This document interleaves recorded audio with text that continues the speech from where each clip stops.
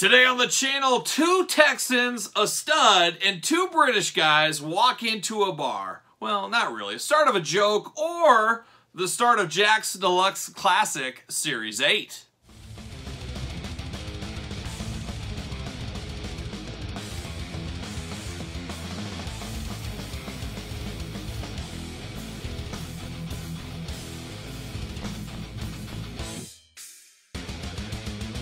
Everyone, Kyle here, and welcome back to the channel for another Jakks Deluxe Classic review. As you guys are fully aware by now, every single Tuesday for the last two years plus. We've been going series by series, line by line, figure by figure through all the Jakks Classic Superstars. And now we're at the end of the road of another series, the Jax Deluxe Classic Series, as we are taking a look at Series 8 today, the final series. What does that mean for our Tuesday reviews? Well, we still got more to do as we still have to go through the Deluxe Classic exclusives. We have not talked about those on the channel yet, so we will have those in the coming weeks. Gonna have a few more Jakks Classic surprises. Uh, this video series just never gonna end, I guess. It's like the never-ending story, but that movie did end. I'm not sure if this will, but a lot more to come, including some videos. Of course, you guys know I picked up that huge Jakks Classic collection, so we're going to have some Jakks Classics unboxings here in the future as well. So a lot of fun stuff for you guys that love the Jakks Classic series,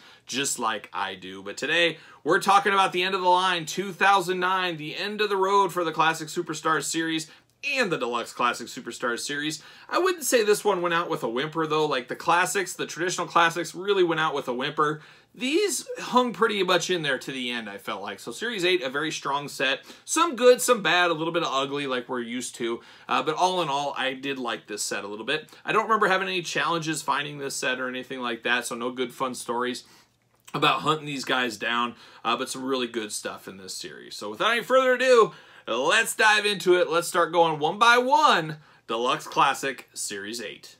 All right, we kick off Deluxe Classic Series 8 with Big John Studd. So very cool to get Big John Studd in the Deluxe Classic line. And I see what Jakks did here. They said, hey, we've had him already in the traditional Classic Superstars line as his most iconic gear, and we also got his referee gear from WrestleMania 5. Let's do something totally different. Let's give him his NWA gear, uh, his other gear outside of the WWF, and he might even have wore this for a couple of shots in the WWF as well. But when we think Big John Studd, this is not the gear we think him in. Uh, and personally, I would have rather had him in his traditional white tights with the stars on the side. I would have been okay with that in Deluxe Classic as there have been a lot of years between that original Classic release to the time we got this one.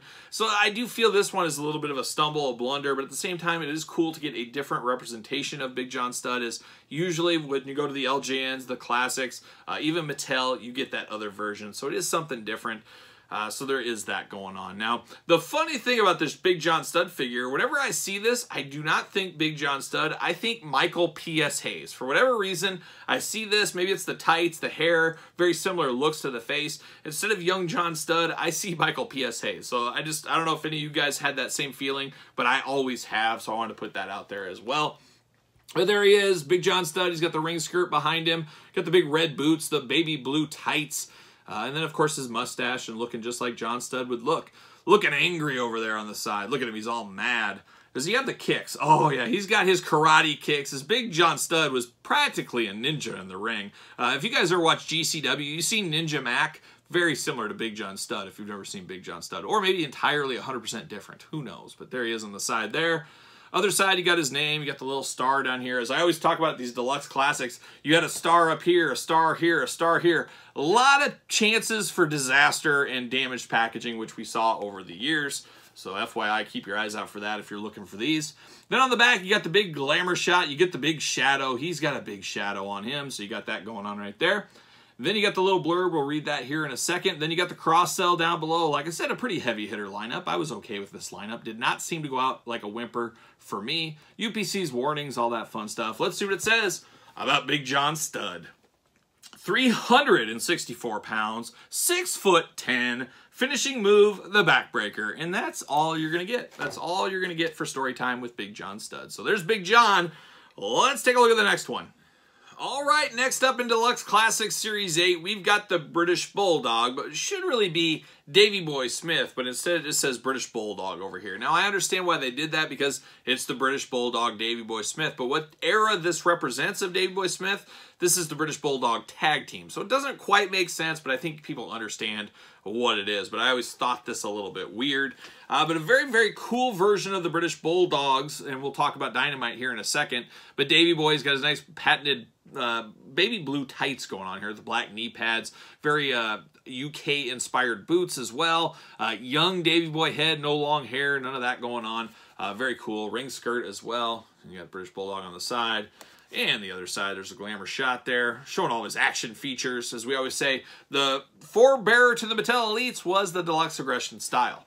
Uh, on the back, got the shadow, and then Davey Boy just looking down. He's down in the dumps. He's sad. He's kicking a rock as he walks down the street. Not sure exactly what that's all about, yeah, but it's what he's doing. And we got the blurb. We'll read that in a second. We got the cross sell down below. You can see Dynamite right there. And unfortunately for me, I wish they would have matched the tights. Uh, they're mismatched in this line.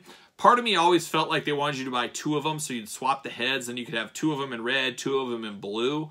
Uh, I don't know. Smart, stranger things have happened, I guess, but it always kind of irked me they were mismatched like that. I always like uniformity in my tag teams. Uh, we didn't get that here. But there it is. There's the back. Let's see what it says about old Dynamite Kid. Dynamite Kid. Dave Boy Smith. Uh, 260 pounds, 5 foot 11. Finishing move, the old running power slam. So there it is. The old British Bulldog Davey Boy Smith in earlier days.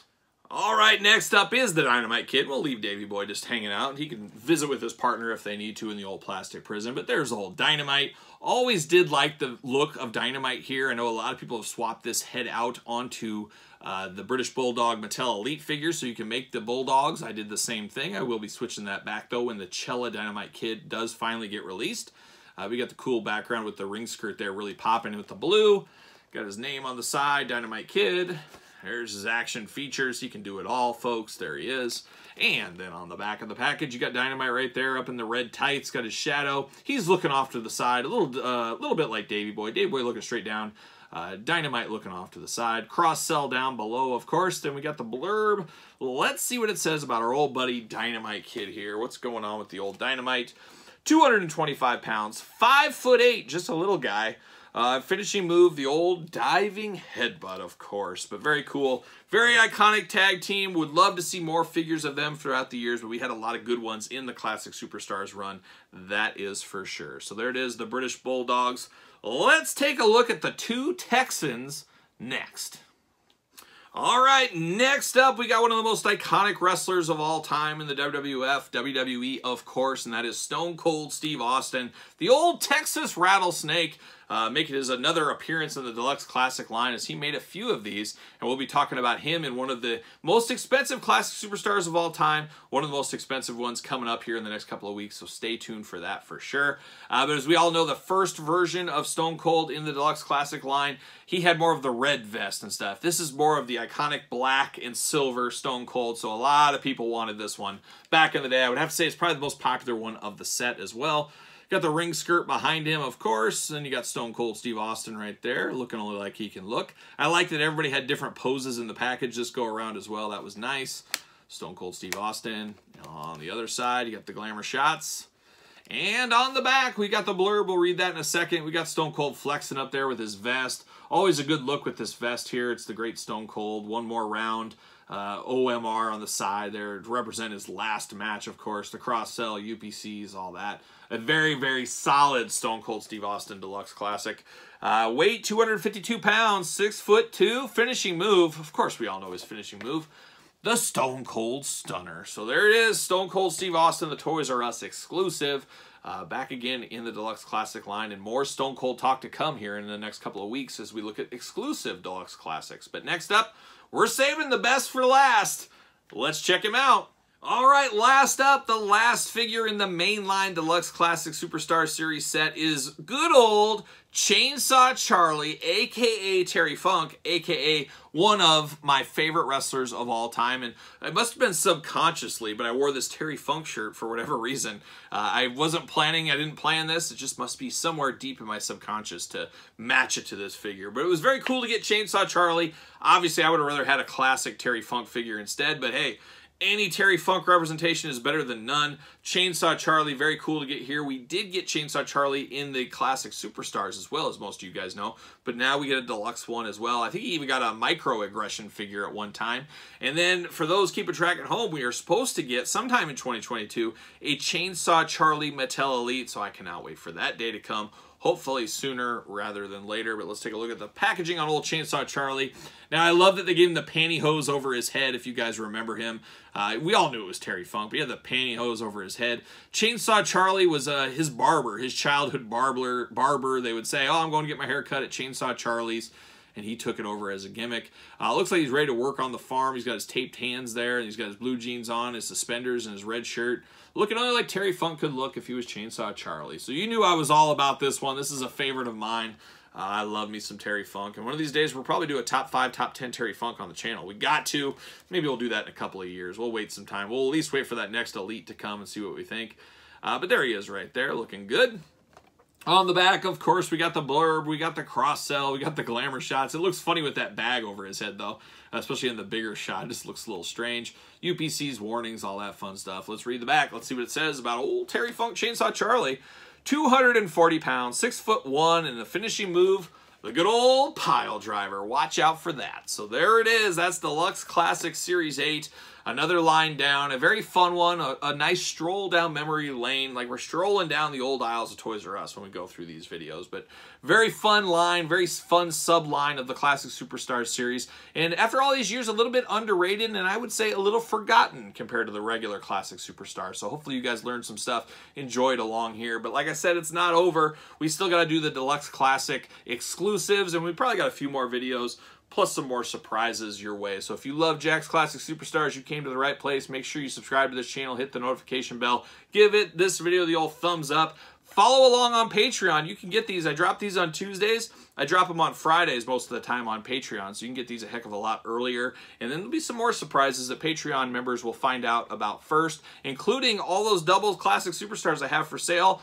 Patreon guys are going to get first dibs on those, so stay tuned for more of that in the future. So there you go. So there it is. Follow along, subscribe, all that fun stuff, and leave me your comments down below and let me know your thoughts on the Deluxe Classic Superstars. So until next time, I'm Kyle. See you guys all real soon.